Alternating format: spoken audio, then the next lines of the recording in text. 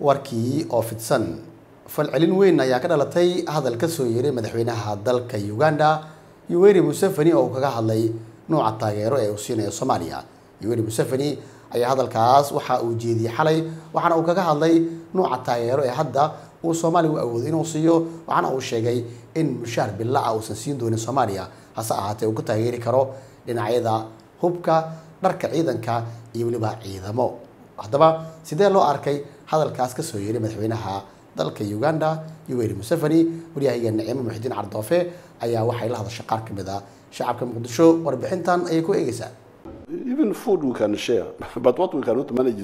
xitaa raashinka waan wadaagi karnaa balse midda aynan maarayn karin waa mushaaraadka bilaha ah. Madaxda dalka oo qaranka hor fadhiid inuu yidhaahdo cunto waan idin siin karaa laakiin mishaar ma bixin karno. Uganda taan shalay anigu badbaadinaya weeye.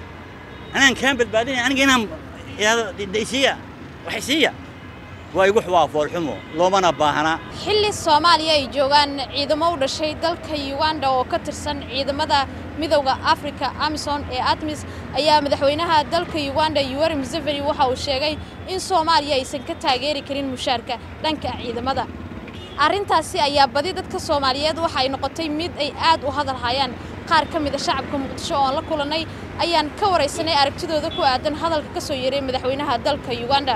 Horta soomaalida waxay dhahdaa lax walba halkaas dhigtaa lagu khalaa anagoo dal sooma dad soomaaliyeed ah dal intaan leeg ah oo qani ah dhan kasta ee meel kastoo loo fiiriyo dalkeen inuu maanta madaxweynaha uganda yoweri museveni oo hadalkaas oo dhaha walaa ina xaaladda taagan hadda lama yaabaayo sababtoo ah waa halka ayna dhigtay ayna dhigeen madaxdeena iyo dadka hoggaanka noo ah oo aanan ka fikirin mustaqbalkeen iyo dalkeen halkuu jihada oo macnaha mari lahaa.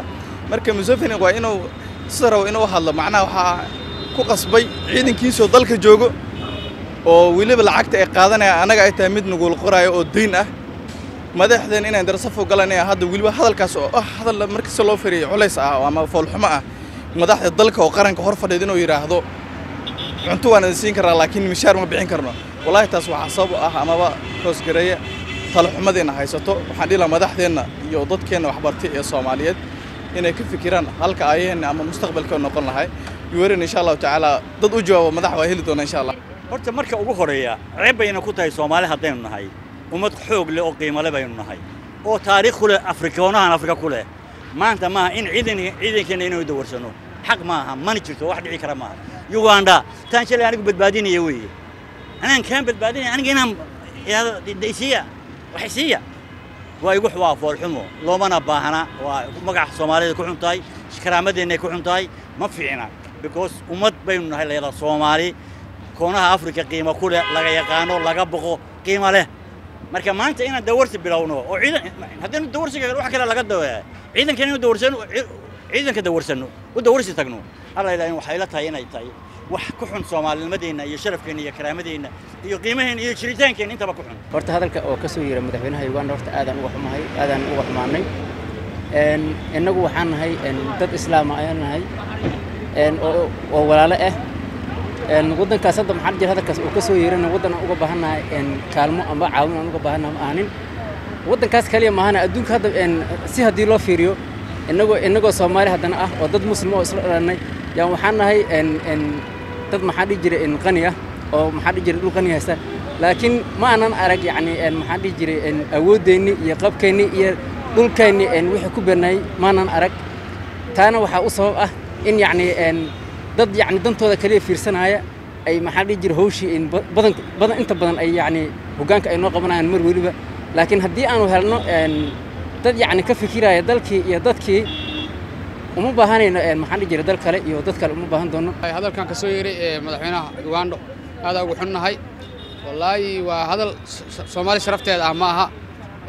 Ebel waa dhibaatadooda hore u soo arknay. Annaga ciidan u diri jirnay hadda. Laakiin waxay leeyihiin dareeskii waxeedaa bixinaa annaga soomaali iyada kama istaahilna inaan horta mishaar weydiino. Laakiin waddanka xaaladiisaa keentay. Marka maxay ay to waxaan sii jeclaan lahaa dowladda soomaaliyeed iyo dowladda federaalka waxaan ka codsan lahaa intaba in xiriirka aan wada jarnaba si ciidamadooda aan dalka ugu reebno oo ciidankeena mishaar la'aan inaan waddankeena ugu shaqayno waan isku filannaha kulba aniga waxaan jeclaa ajnabi waddanka in laga bixiyo soomaali hal ugandhas haddaa aragtid soomaali waa daba socotaa marka inaan iska reebno waddankeena annagaa iska leh annaga inaan difaacno. Intaasaan rajaynayna soomaaliyana waxaan rabnaa dowladda inay waddankan ay maxay tahay atmis dhan ay ka jirto. Ciidan cajinaba inay ka yarayso ciidanka soomaaliyeed oo sharafta lahaa inay waddanka difaacaan. Hadalkii uu celiyey madaxweynaha oo ahaa uganda yacni haddaadan waxba haysanin ma qof faqiiraad tahay waxaa la dirsadaa wiilashaada walaalahaada alca waa sax annaga maanta markii la yidhaha dhallinyaradanadii ayagoo maanta waxbartay joogaan ayagoo maanta dalkooda inay wax u qabsadaan diyaaray u joogaan ayagoo mudawacnimo inay yacni waxa waaye u shaqaystaan bay diyaar haddana u joogaan. Oo maca daalika haddana waxaa lacag lagu siiyaa bishii oo malaayiin gaarayso ciidamada amisom. Horta hadalkaas inuu yidhaahdo yacni waxaan dhihi karnaa waa u gaartay sababtoo ah cid la xisaabtamayso ama wax iska weydiinayso ma jirto.